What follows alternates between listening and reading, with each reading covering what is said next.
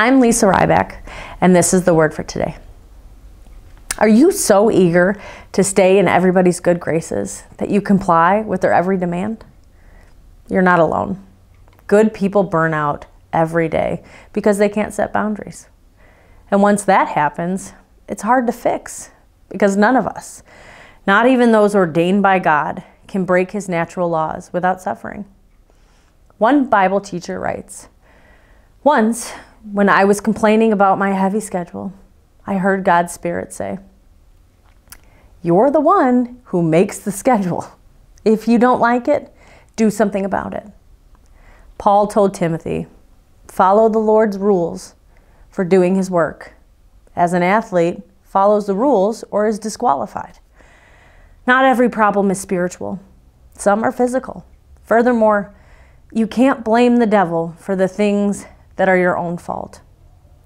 We resent people who pressure us, yet we keep doing what they want, which feeds our silent anger.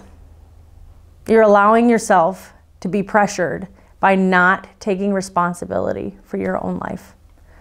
The fact is, many well intentioned folks are walking around each day stressed and depressed because they can't say no. They forget that Jesus is their example and that he had regular times of rest and renewal. The answer lies in putting your life under the guidance of the Holy Spirit, learning to put first things first, realizing you too have needs and not expecting everybody to understand when you set boundaries.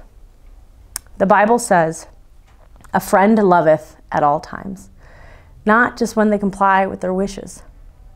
So, to fulfill God's will for your life, you must learn to set boundaries. God bless your day.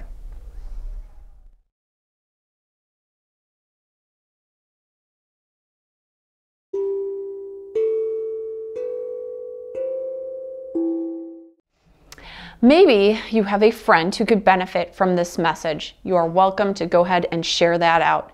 And for all your friends here at Trinity, we wish you God's peace and abundant blessings. God bless your day.